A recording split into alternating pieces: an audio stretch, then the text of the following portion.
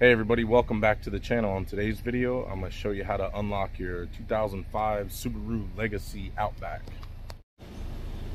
Okay, so when unlocking a vehicle, I always come over to the passenger side. It's just a matter of preference. You can go to either side. I always use Access Tools Super Air Jack. This is an airbag bladder that fills with air. Has this little air valve right here. This little pump. And it fills with air. And I'll show you in a minute how it works.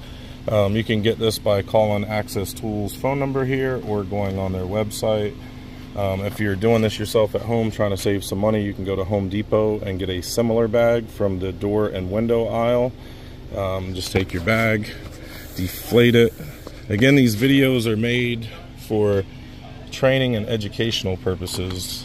All right, sorry I got interrupted with the call there. So deflate the bag uh, send it in through the door. Oh, I remember what I was saying. These videos are made for educational uh, purposes, not for criminal activity. So please don't use it to break into other people's cars. Definitely easier to do this with two hands. Um, you can also use a wood wedge or a plastic wedge to get in here. I'm trying to do this one-handed, so look like an idiot. Give me a second, I'm gonna pause the video and stick it in the door. Okay, so once you get the bag in like so, you can put it anywhere you want, wherever it fits in the door, doesn't really matter. This is a frameless window, uh, so the glass is just gonna probably pop out of the trim up here at the top. Um, close the air valve once you get the bag into the door and pump it up. Once you pump it up, it'll just push that glass out. Like I told you, it's gonna pop right out of this trim up top here. You only really need enough of a gap to get the tool in.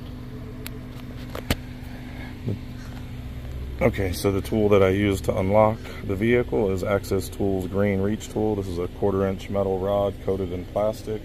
Has this rubber tip on the end of it so you won't crack your windshield or damage your door panels. Has this handle at the end so you can make your maneuvers. Uh, you can get this by calling Access Tools or going on their website. Also, if you're doing this yourself at home, you can bend up a couple of coat hangers. Just make sure you tape up the end of it really good so it doesn't mess up anything inside. Or you can buy a quarter inch metal rod at Home Depot. Feed it in through the door frame like so. Come over here to the flipper lock, hook it, flip it backwards.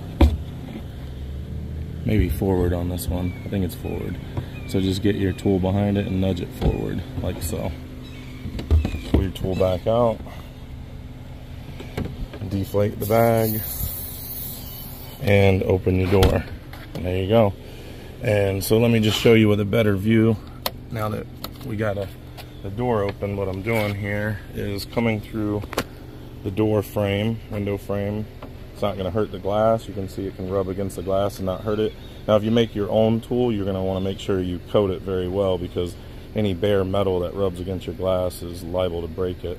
Then once you get inside with the reach tool, that's why it's important to put tape on the end of it if you make it yourself, uh, because you're going to need some friction here against this plastic to push it forward. And you're just going to get it on that little flipper lock there, and then just push it forward, you know, like so, and that that will unlock it.